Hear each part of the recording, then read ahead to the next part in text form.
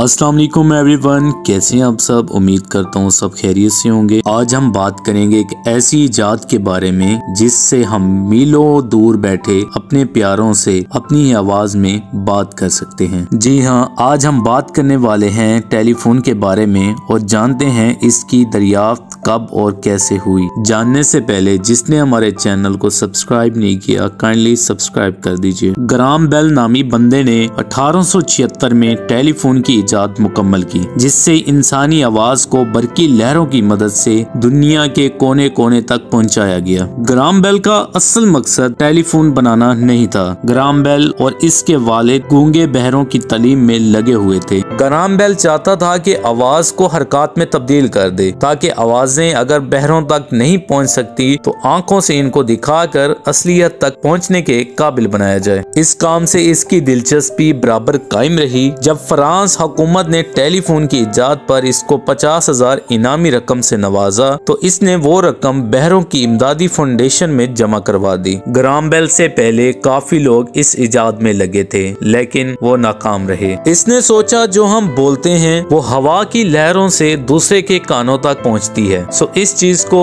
लेकर इन्होंने टेलीफोन की इजाद की। आज की हमारी वीडियो, उम्मीद करता हूँ आपको अच्छी लगी होगी। अगर अच्छी लगी है तो चैनल को काइंडली ज़रूर सब्सक्राइब कर दीजिए। मोर इंटरेस्टिंग वीडियोस के लिए।